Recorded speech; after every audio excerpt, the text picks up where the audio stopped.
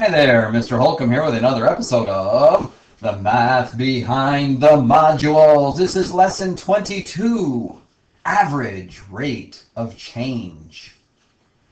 Okay, classwork one, exercise.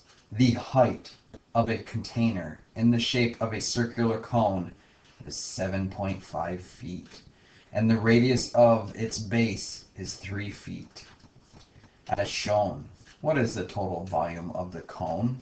All right, so what do we do? Step one, write a formula. Volume equals base area times height divided by 3, or 1 third pi r squared times height. Okay, so how do we find volume? We substitute in our givens. Volume equals 1 third pi the radius was 3 squared times 7.5. Okay. So then I get the volume to equal 1 third pi. 3 squared is 9 times 7.5. Uh, this 1 third and 9 will reduce to 1 third will make the 9 a 3. And so I just multiply 7.5 times 3, which is 22.5 pi feet cubed. Okay, and there we have it. Okay. Oh, did I miss something down below? No. Exercise, lesson 22, exercise, and go on to the next page, time in minutes. Okay, so, okay, so they're now giving us this table. Time in minutes is blank. Water level in feet, 1 all the way up to 7.5. So they want us to find how long it would take to fill this and how long it would take to get to all these levels up until it was full. So if we know the rate at which the cone is being filled, um, we could take the total volume and divide it by the rate to determine how long it would take to fill. So water flows into the container in its inverted position and, contain, and, at a constant rate of six feet, six cubic feet per minute. Approximately when will the container be filled? Okay, so I went back to the previous page just so I had room to draw or to write. All right, so let's just say the water flow is going to be at a constant rate of six feet per minute. Six cubic feet per minute. Okay, that is our rate. That's what we're going to work with here. Okay, so since a container is being filled at a constant rate, the volume must be divided by the rate at which it is being filled using 3.14 as an approximation for pi and rounding to the hundredth place, what would we get? Well, we take our answer here. So it would be 22.5 pi divided by the 6 cubic feet per minute, and that would be 22.5 pi. Let's just do it in our calculator.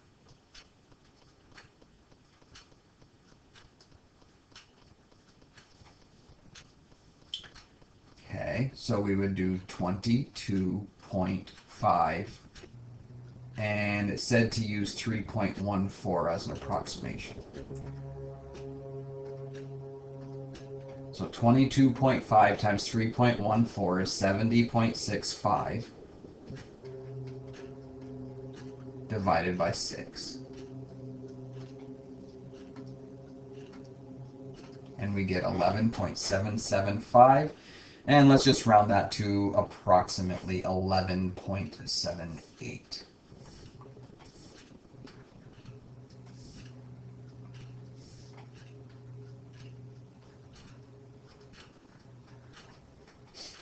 Okay.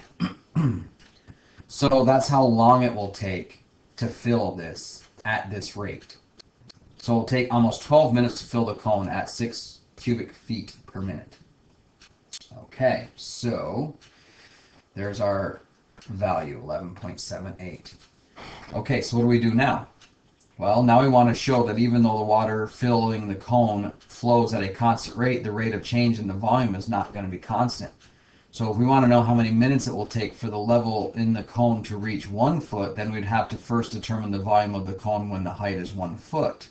And do we have enough information to do that? So what we're, I'm saying is, is if this is seven and a half feet, and this is one foot down here, do I have enough information to find the volume of this little cone here? And the answer is yes. So here's what we would do. Okay, so this would be this green area here blown up. so the whole thing is 7.5, and this little piece down here is 1. So I know that the radius of the whole thing was 3, and I need to find the radius of this little one. And in order to do that, we do a ratio. Height of the big divided by the height of the little equals the radius of the big divided by the radius of the little. So when I cross multiply here, I get 7.5 r equals 3. And divide both sides by 7.5, that will give me r equals 3 divided by 7.5. Whoops and I get 0.4. Okay, so it's 0.4. says now we need to determine the volume of the cone when the height is one foot. So now we need to do the volume of the cone for one foot. Volume equals one third pi r cubed times height. Volume equals one third pi. The radius was 0.4 times the height, which is 1. And I want to know what 0.4 cubed is. Oh, it's squared. I'm sorry. Pi r squared times height. Whoa. That would have been a disaster. Let me fix that. 1 third pi r squared times height. So it's 0.4 squared times height. Well, that would be v equals, and let's just use the calculator and 1 divided by 3. I like to put those in parentheses. 1 divided by 3 times 3.14 times 0.4 squared, which is 0.16, and times the height, which is 1, so I don't need to multiply by 1, it will change nothing. I hit enter, and I got 0.167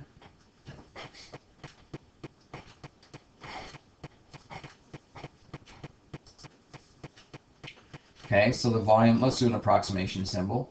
0.167. Okay. It's approximately 0.167 cubic feet. Okay.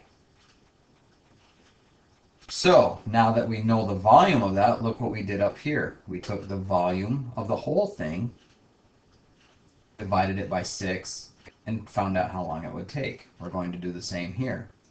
So we're going to take the 0.167 divided by 6, and that's going to come out to be 0.167 divided by 6 is 0.0278 So let's just say 0.028.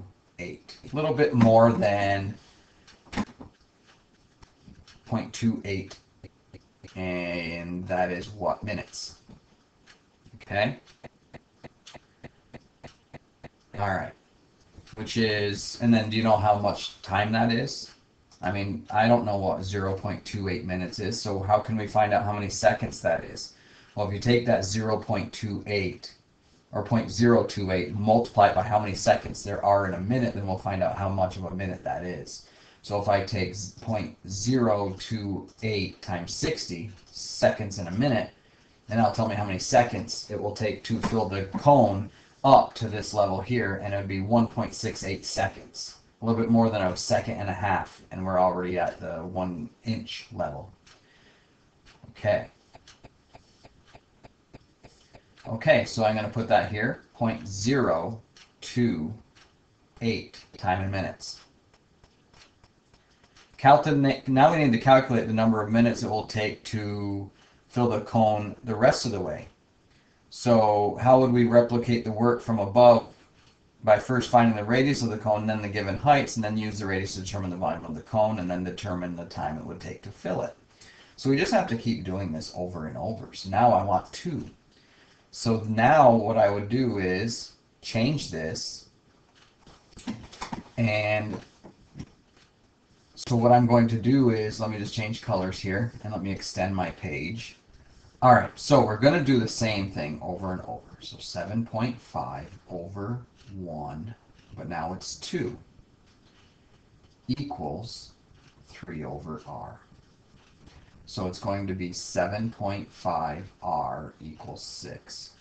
Divide by 7.5, and we get r equals 6 divided by 7.5 is 0.8. Okay, where does that go? Now that goes where our r goes. So then we do v equals 1 third pi 0.8 squared times the height, and the height is now 2. So the only thing that's changing in our problem is our r and our h. Okay, so now I have r equals 0.8, so then I do this, v equals 1 third pi, 0.8 squared is 0.64, times 2 is 1.28. Okay, I'm just adding some steps here, and then actually what I can do is just put it in my calculator. 1 third, using 3.14 for pi, even though there is a pi button, I'm just following the directions. And then just to make sure I didn't make a mistake, I'll just put 0.8 squared in the calculator and then times 2. And I hit 5 for some odd reason. 2. Enter. And I got 1.34. I then take that volume that I found and divide it by 6.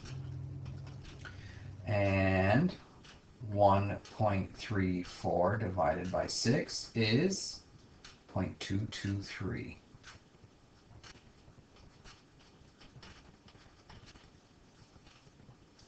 Okay, and we'll just round it to the tenth on this one. So when I go to the next page here, I will put 0.22.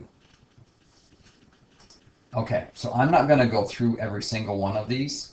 I've already done three of them for you. Um, if you go back here, this is filling it all the way up. 11.78 was the whole thing, so I can put that in here.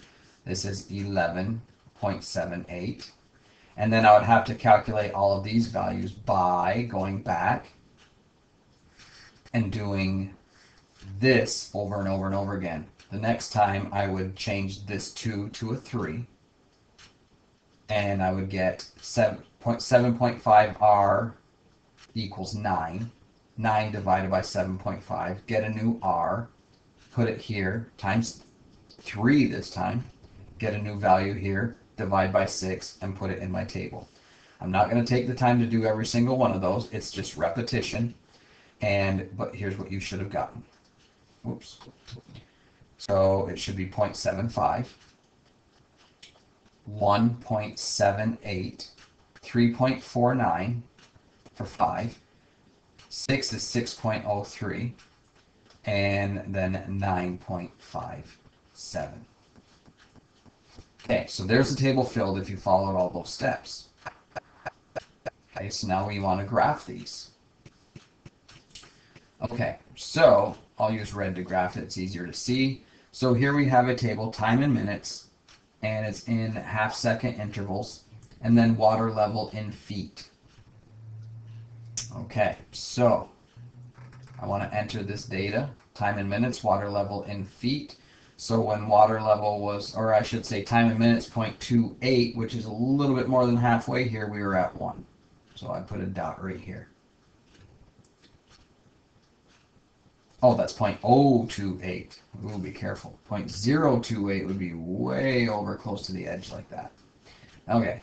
And then 0.22 is almost a half, but not quite, and that was at 2, so that's right here. And then 3 quarters at 3, so 0.5 is here, 0.75 would be halfway between 0.5 and 1, so that'd be right there. And then we had 4 being at the 1.78 mark, which is a little bit more than halfway between 1.5 and 2. So I would put it like right here. And then 3.49 is really close to 3.5 for 5 just a smidgen to the left all right and then 6.03 is just a little bit more than 6 so that's right here okay and then 9.57 9.5 is here just a little bit more than that 9.57 would probably be about there and then finally 11.78, a little bit more than halfway between those two, right up there. So this is what's happening. So it starts off filling fast, but then it slows down because the area around is getting less and less. Okay. Okay, that is the end of lesson 22. Go do your problem set.